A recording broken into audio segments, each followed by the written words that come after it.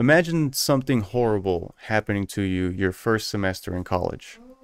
Welcome to the story of what happened to me my first semester at FAU in 2014. My name is Felipe Marquez. We all know that caring for our own health is important and more valuable than money. When an infection can cause you health troubles, it makes you reflect and appreciate when you are healthy. Today, I'm going to be talking about how I caught a MRSA or staph infection and was treated with a double strength dose of a medication I was allergic to, and how I overcame and documented the struggle. To begin with, I want to talk about how this event affected my view on health and longevity.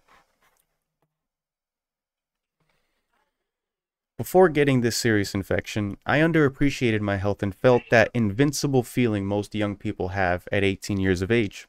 I was warned by my mom to shower in the dorm with sandals for bathing, and I did not heed this advice. After a few weeks on campus, I developed a MRSA infection on my legs and was prescribed a cream to treat the site and pills to treat the infection.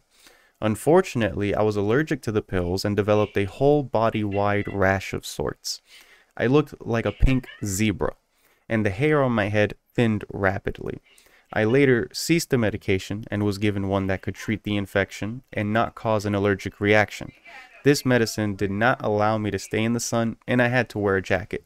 I later recovered from both the infection, the body wide rash, and regained most of my lost hair.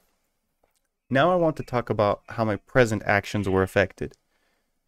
After making a seemingly full recovery from the infection, I learned to appreciate my health more and be more proactive when researching medication that is given to me and even researching over the counter supplements I may want to try in order to be cautious of their effects. I now currently have health insurance, and it has been beneficial to develop relationships with doctors to always look after my physical and mental health. Lastly, I want to talk about how my future is going to be affected. I can envision my future now as someone who looks after their health and for the health of others. I went on to learn about whole food plant based diets and how it seems to be related to preventing the top 13 causes of death, as described by Dr. Michael Greger in his book, How Not to Die.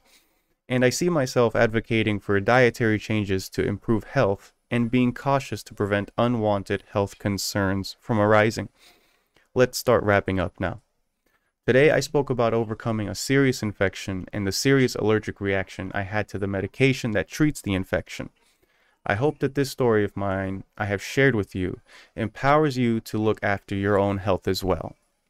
When remembering that health is more important than money, being privy to our health needs is crucial to avoid becoming a pink zebra.